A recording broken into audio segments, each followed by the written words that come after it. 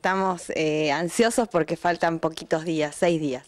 Bueno, y ahora con una presencia de lujo. Exactamente, tenemos como, como jefe de jurado a Matías Núñez eh, para esta segunda edición de la torta infantil más larga del mundo, con, con muchos inscriptos, eh, con, con una convocatoria bastante nutrida y con muchas ganas de festejar el Día del Niño. Bien, antes de charlar con él, contanos un poquito cómo va a ser la cita, la fecha, la hora.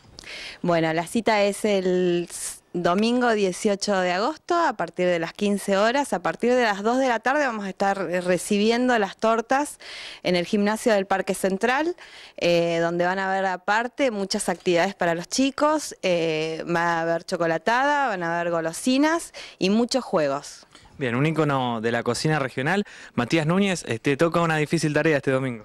No, difícil tarea no, me parece que divertidísima tarea, me encanta, estaba muy bueno para hacerlo. Eh, realmente es una expectativa que tengo porque eh, el domingo con el tema de todas las tortas y, poder elegir cuál, cuál va a ser la ganadora y luego sortearla. Así que no, no la verdad una expectativa enorme y aparte me gusta mucho. ¿Qué se va a tener en cuenta?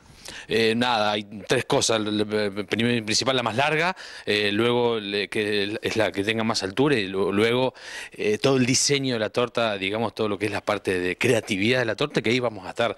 esa es la parte por ahí más importante, ¿no? Que toda tanta creatividad que va a poner la gente en, cada una de las tortas que van a hacer. Bien, esta es la segunda edición. En la anterior, ¿qué te contaron de cómo fue, qué tortas hubo? Me dijeron que fue un éxito total, que hubo unas tortas que, eran riquísimas, el tema de, de cómo se han esforzado para hacer un montón de tortas. Así que eh, esperamos que nada, que se presenten muchas tortas, la verdad que la expectativa es gigante y, creo que con, Vanessa y con toda la gente que, de la fundación eh, vamos a hacer un trabajo espectacular ahí, aparte tengo muchas ganas de hacerlo. Y por más que no te guste que te lo digan, como referente, ¿qué consejo das a la gente?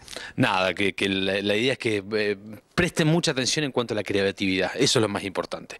Eh, ¿Y qué es la creatividad? Bueno, nada, es mucha enseñanza y por ahí ponerle muchas cosas distintas, locas, pero que tengan buen gusto para, para lo que es la torta, nada más que eso.